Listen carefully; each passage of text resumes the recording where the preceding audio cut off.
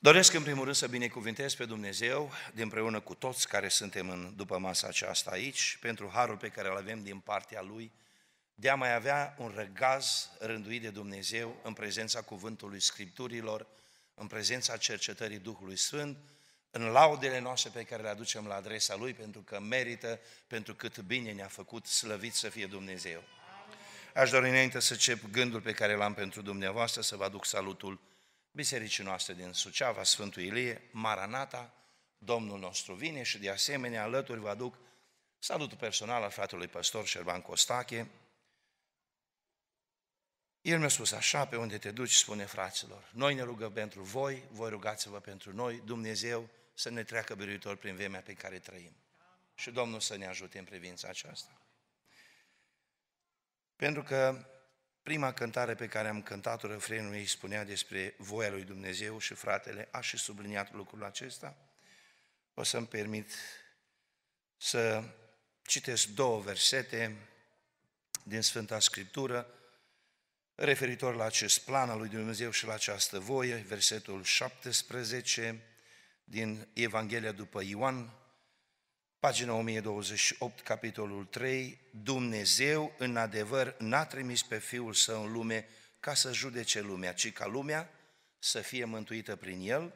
Și apoi aș vrea să mai citesc un verset din a doua epistolă al Apostolului Petru, pagina 1198, și versetul 9 zice așa, Domnul nu întârzie în împlinirea făgăduinței Lui, cum cred unii, ci are o îndelungă răbdare pentru voi și dorește ca niciunul să nu piară, ci toți să vină la pocăință, slăvit să fie Dumnezeu. De altfel, un gând minunat pe care Dumnezeu și l-a arătat omului pe care l-a creat, și alături de aceste două versete vreau să vă mai aduc o scurtă imagine din Scriptură. Noi o folosim textul acesta când este cina Domnului, dar în seara aceasta, cu permisiunea dumneavoastră, aș vrea să folosesc, sunt două versete pe care le citesc, din Evanghelia după Luca, de data aceasta, capitolul 23,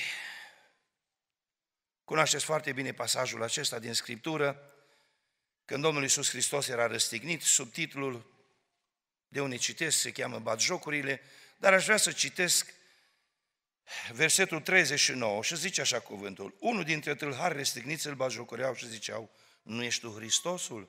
Mântuiește-te pe tine însuți și mântuiește-ne și pe noi. Dar celălalt l-a înfruntat și i-a zis, nu te temi tu de Dumnezeu, tu care ești sub aceeași osândă. Pentru noi este drept căci primim răsplata cuvenită pentru fără de legile noastre. Dar omul acesta n-a făcut niciun rău. Și a zis lui Isus, Doamne, Adu-ți aminte de mine când vei veni în împărăția ta. Iisus i-a răspuns, adevărat îți spun că astăzi vei fi cu mine în rai. Stimați frați și surori, în decursul vieții, cred că fiecare dintre dumneavoastră ați constatat că foarte mulți oameni se ascult sub simbolul acesta al crucii, sub diferite forme. Le așezăm poate pe frontispiciul bisericii, unii dintre oamenii pe care i-am cunoscut și dumneavoastră ați avut șansa să-i cunoașteți, au umplut parbrizul la mașină pe dinăuntru cu cruci, alții le poartă la gât, sau sub oricare altfel de formă. Totuși, în seara aceasta am adus înaintea dumneavoastră o imagine care aș vrea să ne pună pe gânduri pe fiecare dintre noi. Să trăiești în preazma crucii, sub cruce, sub simbolul ei și totuși să nu ajungi mântuit. De o parte și de alta a Domnului Isus Hristos erau doi oameni, răsticniți pentru fără de legile lor. Însă șansa de a fi mântuiți au avut-o amândoi. Și cel din dreapta și cel din stânga. Numai că de șansa aceasta și de oportunitatea aceasta de a fi mântuit, deși s-a tras un semnal de alarmă prin ceea ce colegul lui de afaceri i-a zis, noi de drept suntem aici ca să primim pediapsa pentru toate fără de legile noastre. Dar el n-a făcut niciun rău. Seara aceasta aș vrea să Vă rog profund fiecare dintre noi să ne cercetăm care este distanța noastră față de Domnul Isus Hristos. Cât de aproape suntem de El, cât de restrâns este relația noastră cu El. Pentru că omul acesta care a fost mântuit prin crucificare, pentru că știa de Domnul Isus Hristos din ceea ce El însuși a mărturisit, omul acesta n-a făcut niciun rău. Domnul Isus nu era o persoană necunoscută în vremea aceea. Se știa despre minunile pe care le săvârșea, tot norodul îl cunoștea. Dar Dumnezeu a vrut să-l mântuiască pe omul acesta și singura modalitate prin care a fost posibil să fie mântuit, o trebuie să-l aducă răstignit pe cruce, să fie aproape de Domnul Isus. Și mă întreb de multe ori, noi, care variantă alegem? Pentru că Dumnezeu, în vechime de astăzi, citiți Scriptura și știți ce vorbea Dumnezeu cu Israelul de altă dată și Isaia în capitolul 1 zicea prin cuvânt profetic, de vei voi Israele și vei asculta, vei mânca din cele mai bune roade ale țării. Asta e varianta mea, zicea Dumnezeu. Dar varianta ta, dacă nu vrei să asculți, de sabie vei fi înghițit, căci gura Domnului a vorbit. Spunea Ioan, versetul de aur pe care pruncii îl știu toți și noi îl cunoaștem, fiindcă atâta de mult i-a păsat lui Dumnezeu de mine și de tine, încât a dat ce a avut mai scump pe unicul său fiu, ca prin credință în jertfa Lui. În moartea Lui pe cruce, noi să fim mântuiți. Ăsta e gândul lui Dumnezeu. Care este atitudinea noastră? Cât de aproape suntem noi în relație cu Domnul Isus Hristos? Sunt foarte multe versete din Scriptură în care ne este prezentat gândul acesta lui Dumnezeu încă din vechime, de mântuire, intenția lui de a-l mântui pe om. Bunătatea lui Dumnezeu ne îndeamnă la pocăință, spunea Apostolul Pavel în scrisoarea lui către cei din Roma. Nu vezi tu, omule, zi de zi se înnoiește bunătatea lui Dumnezeu. Ascultam astăzi la München cuvântul Domnului, spus de Ieremia. Ceea ce mă face să mai trag nădejde este că îndurările tale n-au ajuns la capăt și se înnoiesc în fiecare dimineață. Atâtea lucruri ne înconjoară, atâtea binefaceri din partea lui Dumnezeu, care ar trebui în modul cel mai serios să ne pună pe gânduri și să avem o relație cât să poate de strânsă cu Domnul Isus. Și de ce vă spun lucrul acesta, frate? E un cuvânt foarte greu de predicat. Când Dumnezeu mi-a dăruit cuvântul acesta, eu nu pun titlul la predică, că nu-mi place, mă enervez pe lucrul ăsta. că sunt pompoase și așa ne face să crede că nu știu ce Dar Duhul Sfânt atât mi-a spus, răstignit ca să fii mântuit și m-am speriat de cuvântul acesta. Se poate? Se poate. Se poate. Eu și tu să-L cunoaștem despre Domnul, poate am fost în biserică și am început să o rărim și am început să facem o distanță mare între noi și El, nu mai simțim părtășia și pentru că El încă te iubește și pe tine și pe mine, dar eu îl determin prin comportamentul meu, prin atitudinea mea, eu îl determin să recurgă la variante din acestea brutale. Și vă dau câteva exemple din Sfânta Scriptură pentru câteva, două, trei domenii din viața noastră în care putem fi prinși.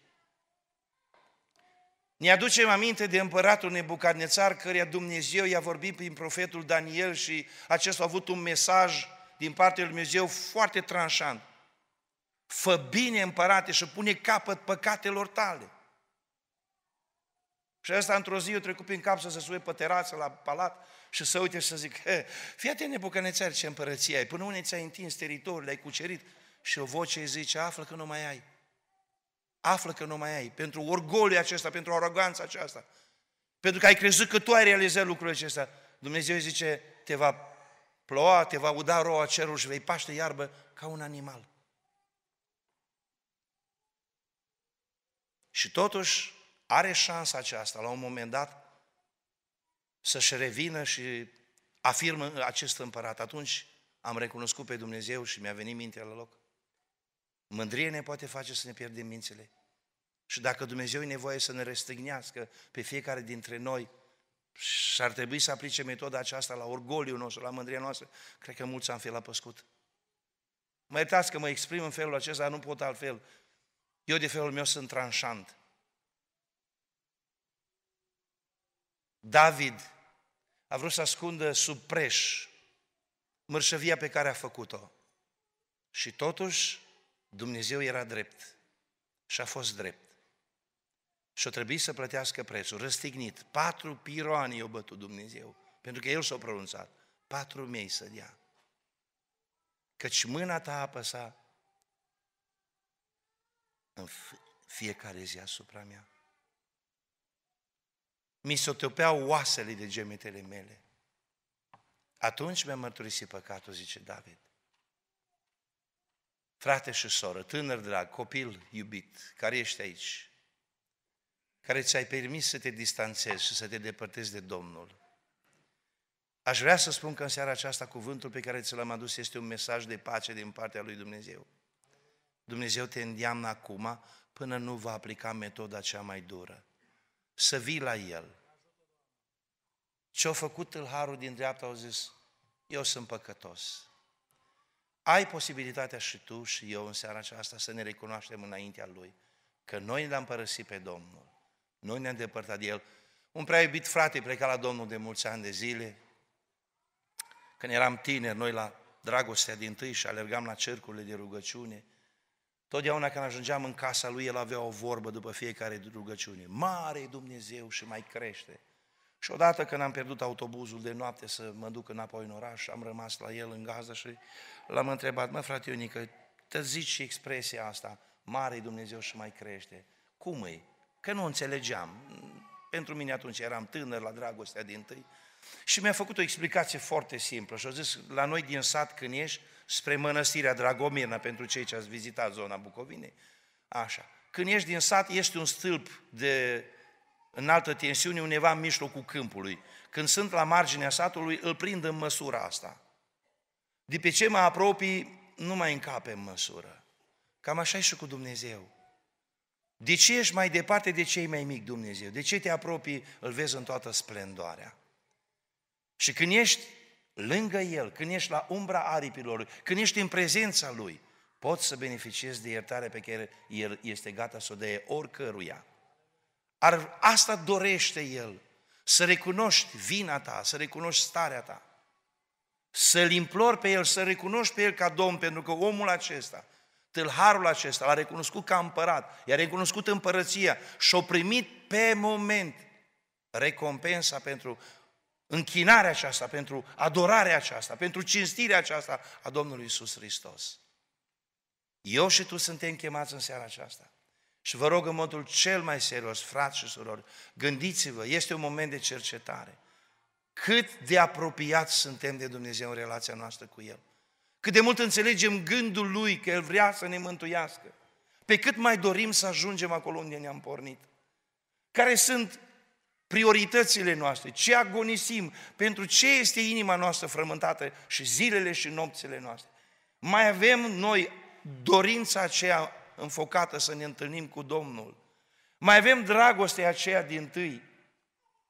Mai suntem la fel de îndrăgostiți de Domnul cum am fost la început. Ca relația noastră să meargă între El și noi. Trebuie să procedăm exact așa cum a pus Dumnezeu când a pus întâmplător lucrul acesta în Scriptură. Hristos, biserica, bărbatul și femeia.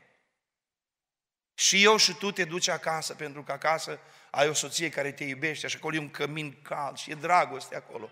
Și ai o pasiune pentru casa ta și te duci pentru că ești mereu îndrăgostit de ea și de cei care sunt acolo.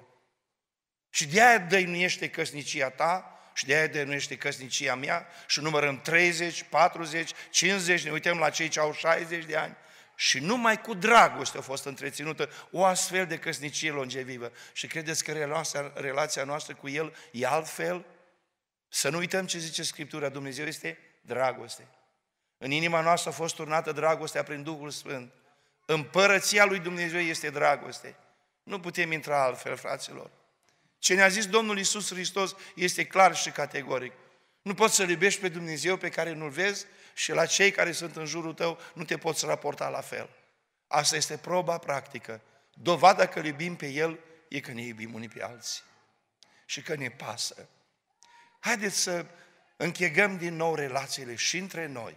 Pentru că dacă vom fi strânși unii și dacă legătura frățească va fi din nou restabilită, și nu aceea, fraților, de politețe, pace, pace, Aceea pe care am avut-o cu mulți ani în urmă și am pierdut-o. Când eram atât de deschiși unii față de alții. Când ne sprijineam în rugăciune. Când nu ne judecam. Când ne trezeam noaptea îndemnați de Duhul lui Dumnezeu și ne rugam pentru frați, pentru familii. Și ne întâlneam peste săptămână și spuneam, frate, Ionică, m-am rugat pentru dumneata că mi-a pus Dumnezeu, o, oh, te ști ce am pățit și-ți povestea. Și era așa o legătură frumoasă. Noi am pierdut acestea. Ne-am distanțat și unii de alții și prin asta ne-a răcit și față de Domnul. Haideți să ne cercetăm în seara asta. E o provocare pentru fiecare dintre dumneavoastră. Haideți să o facem până nu este nevoie Dumnezeu să intervină prin mișloace mai tăioase, mai brutale. Și pe mine și pe tine să ne pună pe orizontală într-un pat de spital. Se poate folosi și de epidemia aceasta dacă e nevoie să te convingă că El te iubește. Dar în seara asta mi-a spus mie și dumitale, fără să recurgă la metodele acestea, că încă mai plin de iubire pentru noi. Vrea să ne apropiem de El, pentru că El încă mai vrea să ne ducă acolo unde ne-a pregătit un loc. Doresc să las acest gând înaintea dumneavoastră și rugăm pe Dumnezeu să ne ajute fiecare dintre noi să ne cercetăm în profunzime lăuntru inimii noastre. Măsurând, pentru că fiecare dintre noi putem să măsurăm cât de aproape suntem de Domnul, care e relația noastră cu El, cu frații noștri. Și Dumnezeu să ne ajute, fraților, să putem să ne însușim acest cuvânt, acest sfat din partea lui Dumnezeu, să profităm de mâna aceasta binevoitoare pe care Dumnezeu a întins-o. Și rog și prietenii, dacă aveți în seara aceasta prieteni în auditoriu, Dumnezeu să le dărească putere, nu să stea numai sub simbolul crucii, ci să poată profita de mântuirea care a fost pregătită de Dumnezeu prin jertfa Domnului Isus Hristos de pe cruce. E o tragedie, estimații mei ascultători, frați și surori. În final, când lumea aceasta se va termina, pentru că ea se va termina, îmi place un citat pe care omul nostru de cultură și om politic, Nicolae Iorga, l-a zis și el s-a exprimat în felul următor. Dacă eu cred în Dumnezeu și nu există, n-am pierdut nimic. Dar dacă eu nu cred și există, am pierdut totul. Am pierdut totul. Haideți să profităm și dumneavoastră și noi toți în seara asta să profităm de mâna asta întinsă. El vrea să mă mântuiască, El vrea să te mântuiască. Dar o pus condiția Lui, să-L urmezi pe El, să te uiți la El, să trăiești ca El și să poți să ajungi în împărăția Lui. Domnul să ne binecuvinteze, Domnul să vă binecuvinteze. Mă bucur că am avut ocazia și în locația aceasta. În 2009 am fost dincolo, Mă bucur că vă văd și aici, Dumnezeu v-a binecuvântat, ați obținut un rezultat frumos. Cred că și pentru aceasta Dumnezeu merită să fie slăvit. Și merită să fim tot mai aproape de El, că ne-a făcut foarte mult bine. Vă las sub binecuvântarea Domnului și Dumnezeu să vă dorească fraților spor în credință, să fim tot mai aproape de Domnul și prin Harul Domnului cu toții să putem să ne isprăvim alergarea pe care am pornit. Amin. Domnul să binecuvânteze, mulțumim Domnul pentru cuvântul acesta, pentru fratele Lăcătuș. Imaginea celor răstigniți la Golgota împarte oamenii în două categorii. Era acolo cel nevinovat și cei doi vinovați. Nu putem alege în ce categorie suntem în aceste două. Singurul care a fost răstignit nevinovat a fost Isus Hristos. Ceilalți, precum și noi,